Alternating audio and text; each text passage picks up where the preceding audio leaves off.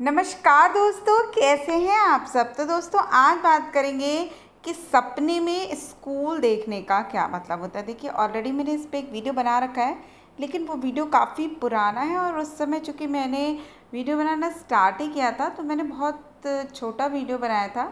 क्योंकि उस समय मैंने यही देखा था कि लोग छोटे वीडियो बनाते हैं, लेकिन अब मुझे ऐसा लगता है चूँकि इतने क्वेश्चन सिर्फ़ इसी एक पर्टिकुलर टॉपिक पे आए हैं कि सपने में हम बार बार स्कूल जाते देखते हैं, सपने में हम खुद को कॉलेज जाते हुए देखते हैं, खुद को पढ़ते हुए देखते हैं तो इसका क्या मतलब होता है? देखिए, अभी कुछ दिनों पहले मैंने अपने कम्युनिटी पे एक पोस्ट किया था कि यदि आप कुछ सवाल पूछना चाहते हैं तो मैं जल्दी उसको क्यू एन ए में लूँगी। लेकिन उसमें कम से कम दस से बारह लोगों ने इसी चीज़ को पूछा कि हम आज भी सपने में स्कूल जाते हैं या सपने में हम कॉलेज को देखते हैं तो इसका क्या मतलब होता है? तो देखिए, बहुत हद तक अगर इस सपने की बात की जाए तो ये एस्ट्रोलॉजिकल कम होता है और ये साइकोलॉजिकल ड्रीम ज़्यादा होता है। इसके देखिए, पीछे दो तीन रीज़न्स होते हैं। साइकोलॉजिकल रीज़न देखिए, हर इंसान के लिए अलग अलग हो सकते हैं। ज़रूरी नहीं है कि हर इंसान की सिचुएशन सेम हो। तो उसी अकॉर्डिंग साइकोलॉजिकल सिचुएशंस भी चेंज हो सकती हैं। जैसे कि हो सकता है कि आप अपनी ज़िंदगी में कोई बहुत महत्वपूर्ण सबक अपनी ज़िंदगी में सीखना आपके लिए बाकी है, या आप जो भी आप अपनी प्रेजेंट लाइफ में हैं, वहाँ पे आपको कुछ लाइफ आपको कुछ ऐसे लेसन सिखा रही है, कुछ ऐसे चीज़ें सिखा रही हैं जो आपके लिए नई हो, या आप अपने आप को उन परिस्थितियों में, मुश्किलों में पा रहे हैं तो यह जो सपना है, या आपका जो सबकॉन्शियस माइंड है, वो आपको बता रहा है कि आपको अपनी वास्तविक ज़िंदगी में अपने ज्ञान को बढ़ाने और अपनी वास्तविक ज़िंदगी के उन इश्यूज़ पे ध्यान देने की ज़रूरत है, जहाँ आपका ज्ञान कम है, या अर्थात आपको न्यू लर्निंग की, नवीन ज्ञान को अर्जित करने की आवश्यकता ज़्यादा है। देखिए स्कूल ही वो प्लेस होता है, जहाँ पे हम बचपन में पढ़ते थे और बहुत सारी यादें वहाँ की जुड़ी होती, क्योंकि उस समय की जो दोस्ती होती है ना, वो किसी स्वार्थ पे नहीं बनती। आज हम किसी को फ्रेंड बनाते हैं तो पहले हम ये सोचते हैं कि इसका क्या बेनिफिट होगा हमारे लिए, या ये हमारे लिए कितना यूज़फुल है, या ये इसका क्या स्टेटस है। लेकिन जब हमारी बचपन में जो दोस्ती होती थी, उसमें ये चीज़ें कभी आती ही नहीं थी। जो हमें अच्छा लगता था, जिससे हमें बात करना अच्छा लगता था, हम उससे दोस्ती रखते थे। तो कितनी बार जो हमारे जो सबसे बेस्ट प्लेस होता है ना, कहते हैं, जहाँ पे हमने सबसे खुशियों भरा पल अपनी ज़िंदगी का जिया होता है, वो चीज़ें भी सपने में आती हैं। तो ऐसा भी होता है कुछ लोगों के साथ कि चूँकि स्कूल का टाइम बहुत अच्छा रहा हो तो जब भी वो उनका जो माइंड है, वो किसी टेंशन से गुज़रता होगा तो जो उनका सबकॉन्शियस माइंड है, वो उनको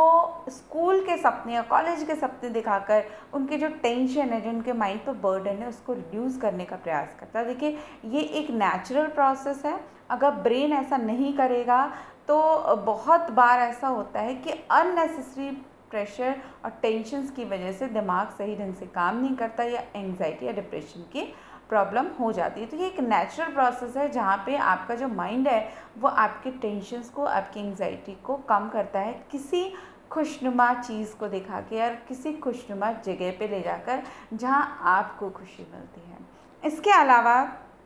और भी बहुत सारे सिचुएशंस हो सकती हैं स्कूल देखने की। जैसे कि यदि आप देख रहे हैं कि आप अपने स्कूल में और आप अपने स्कूल में फ़ाइनल एग्ज़ाम दे रहे हैं। तो ये जो सपना है बताता है कि लाइफ में आप किसी वास्तविक प्रॉब्लम को बहुत समझदारी से, बहुत मैच्योर तरीके से हैंडल करने की ज़रूरत है। हो सकता है कि कोई समस्या आपके सामने ऐसी हो जहाँ पे आपको रिएक्ट नहीं करना है, बल्कि आपको बहुत ही चालाकी से, समझदारी से उस परिस्थिति में वर्क करना है, उस और इस तरह का सपना इंडिकेशन देता है। इसके अलावा आप देखते हैं कि बहुत पुराने स्कूल में, आप किंडर गार्टन स्कूल जो बिल्कुल छोटे बच्चों का स्कूल है, वहाँ अपने आप को पाते हैं। तो ये सपना बताता है कि लाइफ में आपको अपने आउटलुक को लोगों को देखने के तरीके को, लोगों को समझने के तरीके को बेहतरीन बनाने की आवश्यकता हो सकता है कि आप लोगों को सही ढंग से जज नहीं कर पाते या आप बहुत ज़्यादा जज करते हैं। कितनी बार जो लोग जैसे उन्हें वैसे छोड़ दीजिए, जज करने की आवश्यकता ही नहीं है। क्योंकि सबसे पहला वर्क तो हमें खुद पे करना चाहिए, दूसरों पे तो हम वर्क कर भी नहीं सकते जब तक कि वो खुद ना चाहें। इसके अलावा यदि सपने में आप देखते हैं कि आप क्लास की डेस्क पर बैठे हैं क्लास की बेंच और वहाँ आप अपने आप को बैठे देखते हैं। तो सपना बताता है कि डेली लाइफ में आपकी जो प्रॉब्लम चल रही है आपके वर्क फ्रंट पे, आपको उनको कुछ नए बेहतरीन प्रयासों के द्वारा उन चीज़ों को मैनेज करने का तरीका सीखने का प्रयास करना है। तो ओवरऑल ये जो सपने होते हैं स्कूल के, कॉलेज के, वो कहीं ना कहीं अपने आप को अपग्रेड करने न्यू लर्निंग कुछ नया सीखने, कुछ नया करने या अपनी जो योग्यताएँ हैं उनमें विकास करने की ओर संकेत करता है। इसके अलावा यदि आप देखते हैं कि आपने ट्रेडिशनल स्कूल तो छोड़ दिया है मतलब आपने, आप अपने स्कूल से बाहर आ रहे हैं, अपने स्कूल के गेट से बाहर आ रहे हैं, या ट्रेडिशनल स्कूलिंग आप छोड़कर बाहर निकल रहे हैं तो ये सपना आपको बताता है कि आपको अपनी ज़िंदगी में नया सीखने की ज़रूरत है। हो सकता है कि आप अपनी ज़िंदगी में खुद को अपग्रेड नहीं कर रहे हैं, खुद के लिए टाइम नहीं दिखा रहे हैं, या खुद की स्किल्स को डेवलप नहीं कर रहे हैं। तो कोशिश करें आप हर पल कुछ नया सीखते रहें। उससे जो आपकी स्किल्स हैं वो भी डेवलप होंगी और जो बार बार स्कूल आने के सपने हैं स्कूल में बैठने के स्कूल जाने के सपने, वो भी कम होने लगेंगे। साथ ही साथ आपको इससे एक प्रोग्रेस भी अपने लाइफ में दिखेगी। यदि आप अपने लिए सेल्फ अवेयर रहेंगे, खुद को न्यू लर्निंग के साथ आगे बढ़ाते रहेंगे। इसके अलावा यदि आप सपने में टीचर को देखते हैं देखिए वैसे एस्ट्रोलॉजिकली टीचर को देखना गुरु को देखना बहुत अच्छा होता है लेकिन यदि साइकोलॉजिकली बात करूँ